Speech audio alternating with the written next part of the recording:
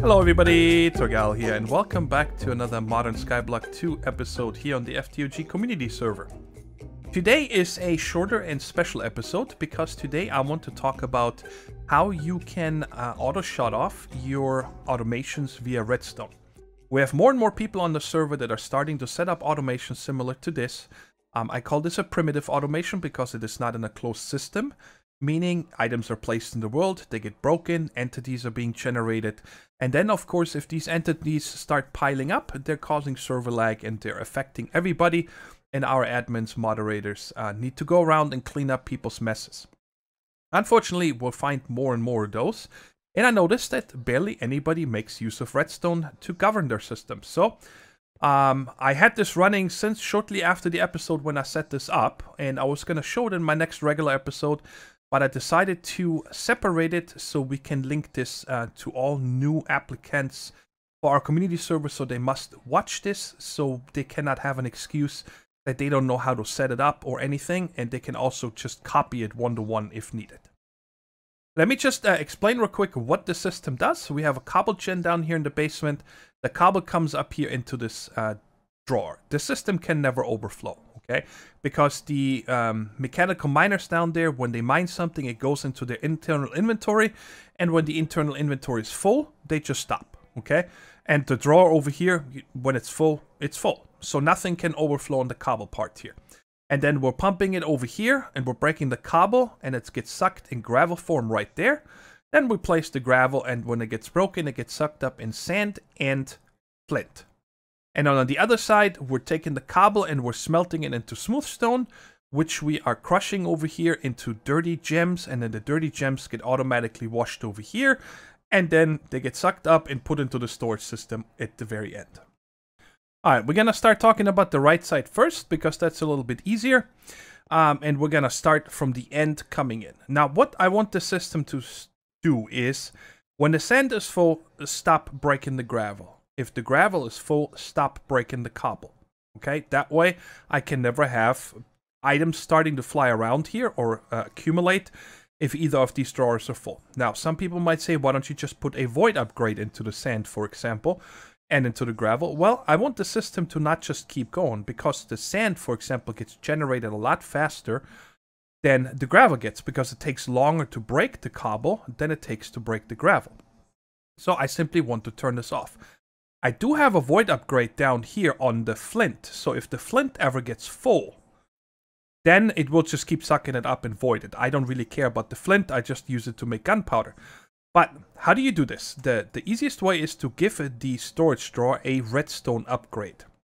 And what that does is it has the, red, uh, the, the drawer emit a redstone signal depending on how full it is. When it's empty, no redstone. When it's full, 15 you know, and anything in between. If it's half full, a probably signal of seven or maybe eight, um, and so on. And I'm sending that, I'm reading that with a comparator. The comparator with the two redstone torches here. That's the side, that's the back, okay? It reads this redstone signal and passes it through by default. So if it was a 4, it will make this redstone trail a 4. But I only wanted to emit a redstone signal when it actually receives a 15.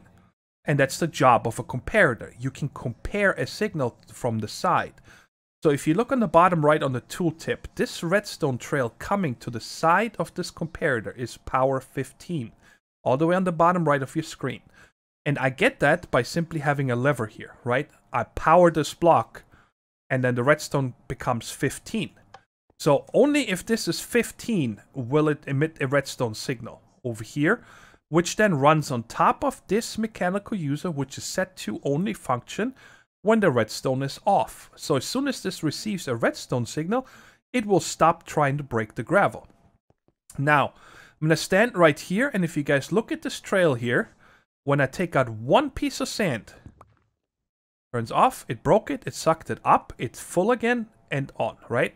So if I take out three or four, it will keep breaking that until it's full.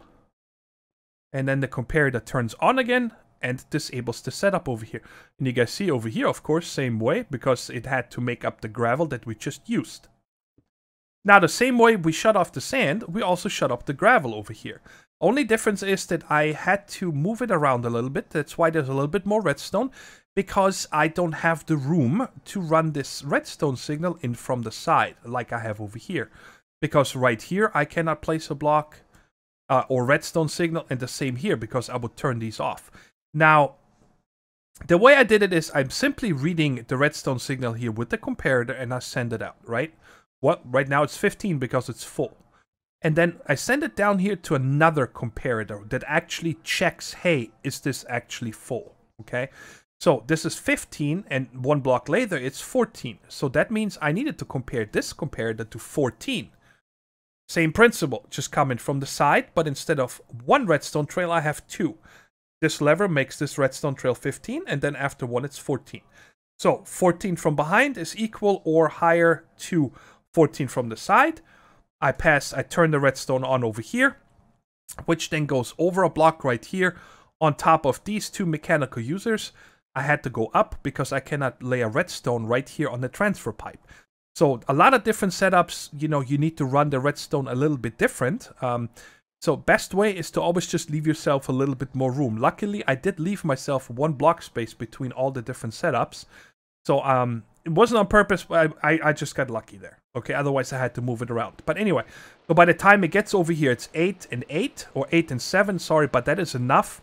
These guys are set to, again to redstone off, and the other guy over here as well, so they're not breaking any more cobble.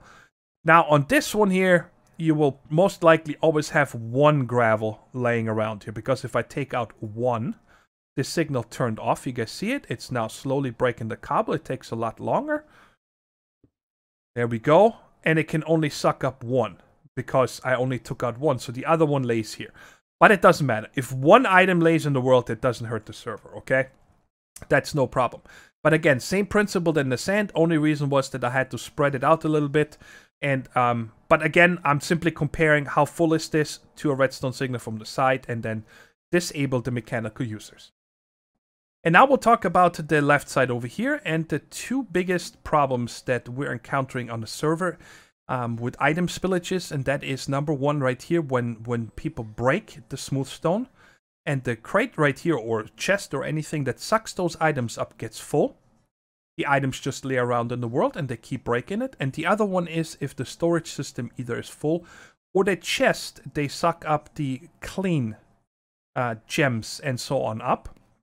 Gets full, then the items right here start spilling. So these two right here are the number one problem on our server and probably most people's setups. And now before we go into this, I wanted to explain something about comparators and how they read chests, okay? And that is, if you look at this chest right here, every single slot is filled, okay, with one piece. And that only gives us a redstone signal, look on the bottom right of the tooltip, power of one. But this one here only has two slots with a whole stack each. And this one gives us a power of two. Because the comparator actually reads the, the total possible storage of a chest. So every one of these is only 1 64th filled. While this one here of 27 possible slots, two are completely filled. And that's why this one is a lot less when it comes to redstone power 1 than this one, okay? So I hope that makes sense how they read it. And that brings us over here to this first one.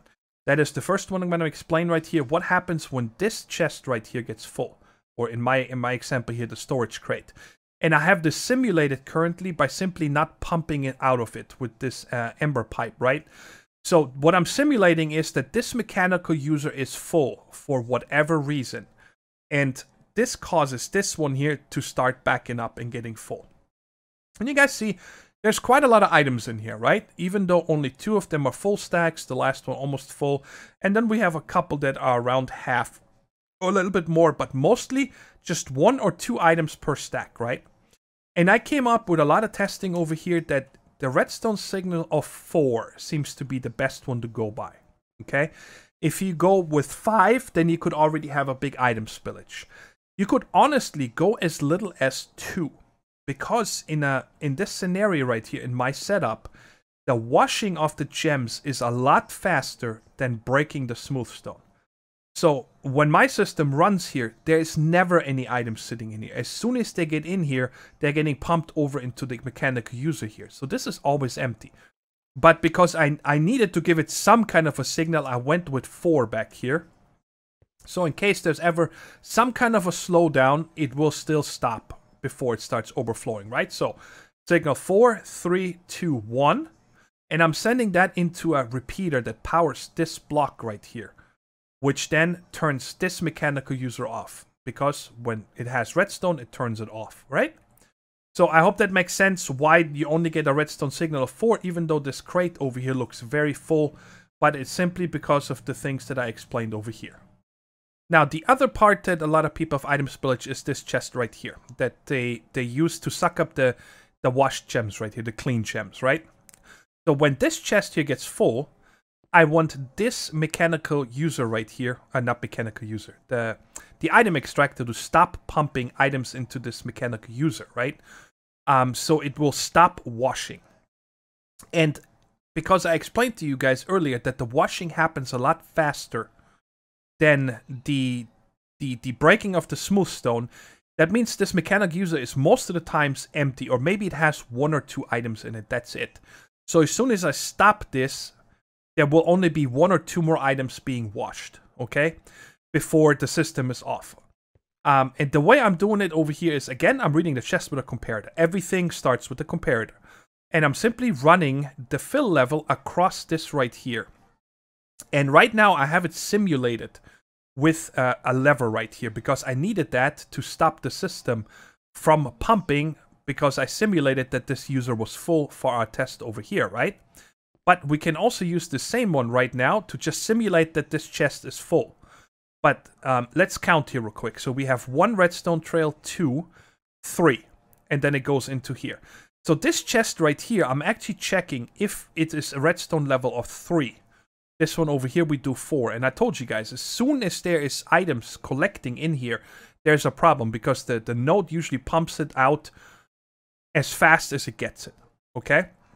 Especially later on if we have a chance to add speed upgrades to this then there will never be anything in here. And when it starts accumulating, there is a problem and I want it shut off.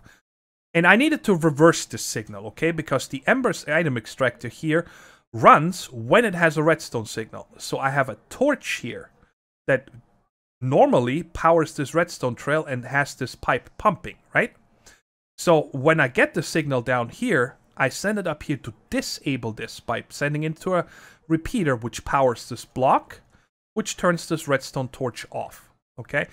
If you use a transfer node here instead of the item extractor, then you don't want it reversed. Then you simply pass the signal through and send a redstone signal to a node here, okay?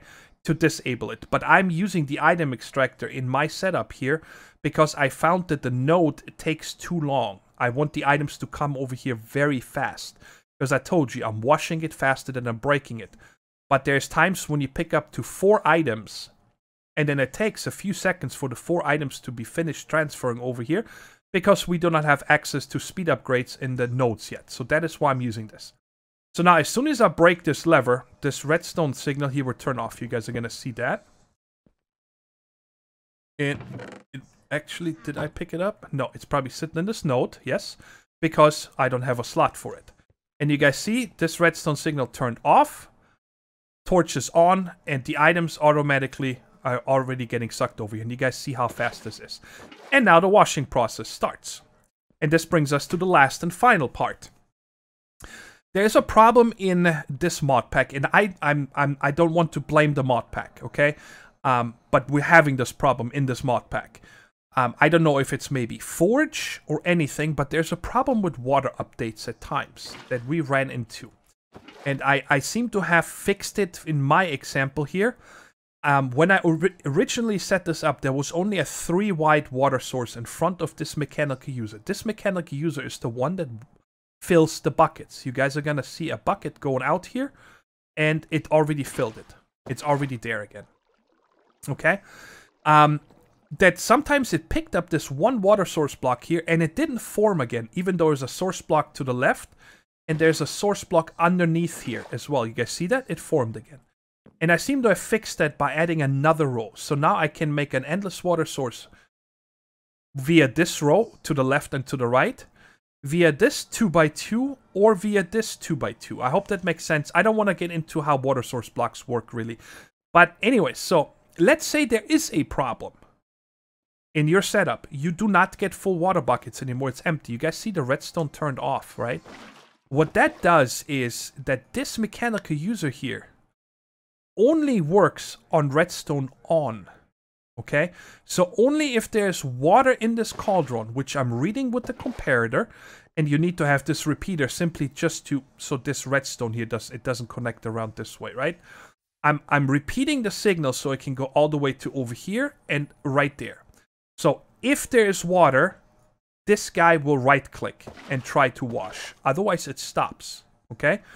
And this one over here is simply only for noise reduction. This guy here only works if there is no redstone signal, meaning the cauldron is empty. Because otherwise it constantly right clicks and you constantly have the splashing sounds, which I find annoying, right? And so that's why I govern this one here and say, hey, only try to right click if this one is actually empty, which we're gonna see in a second. There we go, redstone is off. It takes a second, boom, done. Um, if you don't have a TPS issue like we do have here, we mostly only run about 10 TP, 10 PPS. That's it. Um, then this will happen a lot faster because this redstone signal also turns off this node. Okay, so this node doesn't try to pump out the empty bucket, which goes so fast that you cannot even see it in here, when there's actually water needed. So it takes the empty one out, and then underneath here, by the way, from from the side of this one underneath into this one here is where I'm sending the full buckets.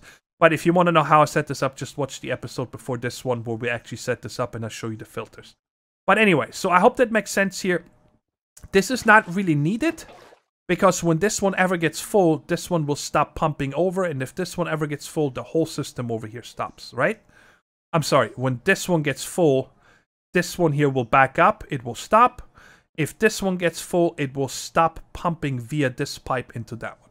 I hope I didn't confuse you here with the last part, but um, this one right here is just simply noise reduction and also stop trying to right click when there's no water in it. That is it, okay?